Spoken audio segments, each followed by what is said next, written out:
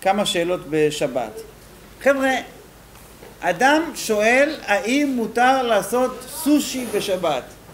שאלתי אותו מה זה, זו הייתה השאלה הראשונה שלי.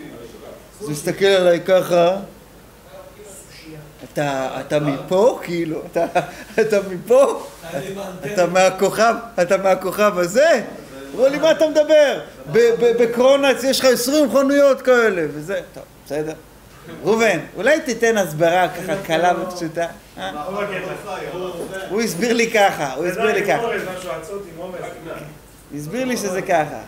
מדובר באורז ששמים אותו כנראה על איזשהו עלה דק של קצה ושמים חתיכת דג לפעמים, בדרך כלל חי לצורך העניין. כולם עשו את כולנו בן דרוסאי בנושא הזה. ומגלגלים אותו יש לזה שיטה, משהו, איך מגלגלים. ואחר כך מדביקים אותו עם קצת רוק. השאלה היא האם מותר לעשות את זה, אה, שכחתי את האורז. לוקחים אורז, האורז מבושל. זה אורז מיוחד הם מועכים את האורז ככה כדי שיהיה משטח כמו שצריך. אם יש בונה פה אז מותר פה אוכלים אני מספר לכם את הסיפור, את השאלות אתם צריכים להגיד, אני רק סיפרתי לכם איך עושים סושי. אחר כך תגידו, שלא תגידו שהרב לא מלמד אתכם גם ענייני עולם הזה. זה סט מיוחד. זה לא מילה לא זה שולחן מלכים זה כבר בישול גוי, אבל זה לא נושא של בישול גוי. קודם כל נדבר על האורז. המעיכה של האורז, אנחנו עושים ממנו עיסה. וכבר למדנו בעבר, אתה לוקח את האורז ואתה עושה ממנו מין קווץ' עד שהוא מאבד את ה... הוא מאבד את הגרגר. כן, זה הופך להיות כמו פירה מאורז. בערך, לא ראיתי את זה אף פעם, אני רק מדמיין. הבעיה בזה? מה אה? הבעיה בלעשות פירה?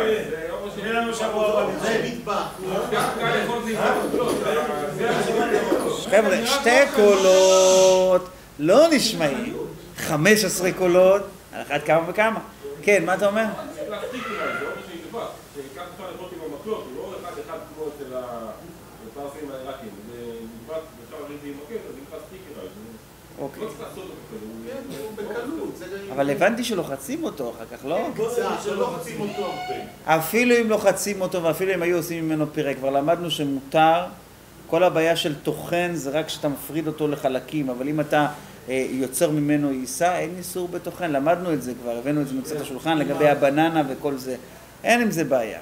עם הפירורים, עם ה... אז זה אין לי בעיה. אין שם פירורים ומה הבעיה שנשארה לי? זה ה... איך אומרים? המבנה, המבנה. עושים אותו. בוא נלך לגלגל סושי, זה כזה... חבר'ה הסבירו לי שזה כזה... זה כמו בוא נשתה על כוס קפה, בוא נגלגל סושי. אז אה, האם יש פה איסור בונה? ופה זה דבר מעניין. קיצור שולחן ערוך, בסימן פ' בקיצור שולחן ערוך כותב במפורש שיש איסור בונה באוכלים ואסור לייפות שום אוכל. מאיפה הוא לקח את זה? לקח את זה מחיי אדם כנראה. לעומת זאת, לעומת זאת, יש פוסקים, כמו המרשם וכמו האורחות חיים מספינקה, שהם אומרים אין בונה באוכלים, חוץ, חוץ ממגבן. מגבן זה איסור בונה בשבת. לקחת גבינה ולזה, זה אסור. עכשיו, מה שמצאתי דבר מעניין בשולחן ערוך אדמו"ר הזקן, בסימן שי"ט בסעיף כ"ו הוא מדבר על איסור מגבן, הוא כותב שזה אסור משום בונה. בסימ- בהלכות יום טוב, בסימן תק"ו, הוא כותב במפורש אין בונה אלא בדבר המחובר לקרקע. אין איסור בונה באוכלים. תק"ו, שמה זה בסעיף ב', הוא כותב אין איסור בונה למחר, ואז יש פה סתירה רבתי. אתה בעצמך כותב שבגבן יש בו איסור בונה. והתשובה כנראה, כמו שאמר שם בעצמו כותב. הוא לא שואל מכאן לכאן סתירה, אבל הוא מסביר. למה במגבן אמרו שיש בונה? כי אתה הפכת נוזל למוצק. לקחת מתוך החלב ויצרת משהו מוצק. אבל אם אתה עושה דבר מהדבר בתוך מוצק עצמו, הוא טוען שאין בונה. זה לא מוליד? אה? זה לא מוליד? אולי זה גם מוליד, אבל כאן המוליד הוא, הוא, אה, אה, לא נעשה בידיים על ידי אדם, הוא רק זרק טיפות שמן בתוך המים, סליחה, שמן, לימון, בתוך, או שם, אה, שם את החיידקים ו, וזה. אז זה לא עשה אותו מיידית, זה אסור משום מגפן, זה איסור מיוחד שהיה במשכן. אז פה אני לא יכול לבוא ולהגיד, נראה שהאדמו"ר הזה כן סובר, נראה, ככה נראה לי על פניו, שאין איסור בונה בשבת באוכלים. מגבן זה איסור מיוחד, אבל לא בכללות. לפי זה יהיה מותר לעשות סושי בשבת. אה, אתה מדביק אותו בסוף עם הרוק? בסדר, אבל זה לא הדבקה שעומדת לקיום בכלל. למדנו שאם אתה מדביק אפילו פלסטר על פלסטר, אם זה לא ל-24 שעות, מי הולך לעשות סושי בשבת ל-24 שעות? הוא הולך לאכול את זה בשבת. אז לכן נראה לי שמותר. נעבור, אח... נעבור לדוגמה אחרת. משהו... אה, אה, הרב יהיה, אפשר לשאול שאלה? כן, שאלה ובזה נסיים משה עכשיו. שלוש דקות לעשר. כן. טוב, אז עד עשר, נו. בקריית מלאכי בשבת היו הפסקות חשמל והתחילו לדבר בצורה כזאת שנדלק, נכבה, נדלק, נכבה והתפללו לאור נרות בכל הבתי כנסת. איך, איך, איך הציגו נרות בשבת? אה? נרות של ה- החמישה האלה של ה... אה, של החזה. כן, זה מצחיק, כי אף בית כנסת אין איזה תקן מסודר. אז רק בחמו, שיש שם את התקן, היה תאורת חירום. זה המקום היחידי שהיה עם אור. בקיצור, השאלה מה קורה לגבי מי חם, להכין תה, לא היה בערך שעה, שעה ורבע לא היה, אור, לא היה חשמל. עכשיו, אם יש מי חם ודברים כאלה, אתה רוצה לומר שזה קרה כנראה מהרוחות והגשמים. זה, זה, כן, זה היה כבר בשבת. נו, אז זה פה שאלה של פיקוח נפש. יש בוודאי אנשים, ילדים, זקנים, שצריכים מכשירי אינלציה, יש זקנים שצריכים מכשירי חמצן, יש אנשים שצריכים אה, אה, משהו נכון, חם, זקן?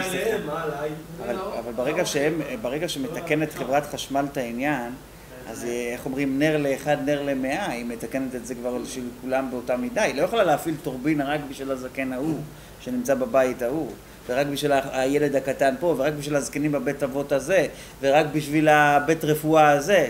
לא, זה לא עובד ככה. אוקיי, עכשיו, מה לגבי הניתוקים שהיה נדלק ונחבר, נדלק ונחבר, אז הייתה שאלה, הרי יש מקררים שממש רחוקים מזה. האם יש אפשרות לעשות משהו בשבת כדי להציל את המקרר?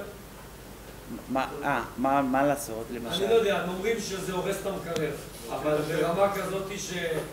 ש- אני חשבתי שאתה רוצה לשאול אותי האם אתה יכול לתבוע את חברת חשמל על נזק שעשתה לך למקרר. זה מה שאני חשבתי שאתה לא, בוא רוצה נגיד, לשאול. אפשר להוציא את הש... ברגע שנכבה חשמל, להוציא את השקע, שאם יקרה שידלק ויתחרש, לא תגיד לי, זו שאלה רצינית? אדם מוכן שלא יהיה לו מקרר כל השבת? לא, יש מקררים של תעשייה כאלה, או ששמים את ה... כאילו אתה מדליק, מכבה, מדליק, זה המנוע שם משתגע. ואז הוא נהרס. לא יודע, כרטיסים. כרטיסים, לא משנה מה. אה, עכשיו זה נכבה, אתה כרטיסים. מוציא. כרטיסים, כרטיסים של היום. אה, גם של המחשבים זה ככה, אם יש לך הפסקות חשמל. נראה לי שזו שאלה, כמו שאומרים, אה, דרוש וקבל שכר. כאילו, זה לא, זה לא קורה בשטח. כאילו? אנשים לא רוצים של... יש לו, יש לו, במקרר הזה יש לו 50 עופות קפואים, הוא רוצה? מחשב, מחשב בבית, ברגע שהוא... מי משאיר את המחשב דולק מחשב בשבת? לא, יש לו איזשהו איזשהו איזשהו חובר למשהו. הוא חבר אותו בכפתור, אבל עדיין בפנים הכל יש מגעים. ברגע שהחשמל נכבה אומר, הוא הורס את הכרטיסים. אז בוא נגיד נכבה פעם אחת, נדלק, אתה מתחיל לראות שזה... ברגע שהוא נכבה אתה רוצה לשלוף את השקע, הוא בעד שיחזור החשמל בצורה טובה, ואתה שאתה תדליק אותו. זה שבשינוי זה בטוח שצריך. השאלה היא אם בשינוי זה מותר. קודם כל, כאילו. אני גורם שהוא לא יהיה מגעים מתי החשמל. אני מונע כאילו הדלקה. אני חושב, ש, ש, אני חושב שלהוציא אותו כלאחר יד, מי שיעשה את זה, יהיה לו על מי לסמוך. אתה שואל אם זה לכתחילה? קשה להגיד שזה לכתחילה. אם זה נזק גדול, אם אתה באמת חושב שזה מה שיקרה, נזק גדול, לא, אבל עכשיו, יש, יש, יש מקום להתיר להוציא את זה כלאחר יד. כן. אבל אני חושב שאפשר, אפשר, מה, בקריית מלאכי רק הפסקות חשמל יש? גויים אין שם? יש גויים. יש גויים. למה אתה שואל? ואם אין, ואם אין אפשר לפנות למוטי, הוא, משווק בצמתו. משווק. כאילו, אז לא, מה? אבל מה, למה אתה שואל? לא, כאילו שגוי יעשה את זה, למה יהודי? הוא יכול אפילו לעבור אצל כולם, והוא עושה בסטה, הוא שבת הזאת, הוא עושה כסף מהעניין. במקום הפסד מרובה. אה, איך עושים את האורז? זה הסושי, תסתכל. הוא שם, יש פה מצע של אצות, פה יש משהו כמו עצים כאלה, זה כמו תריס כזה שמגל, אותו תופסים אותו, לא צריך רוק. הוא שם אורז, הוא שם כל מיני עלים, אבוקדו, דגים?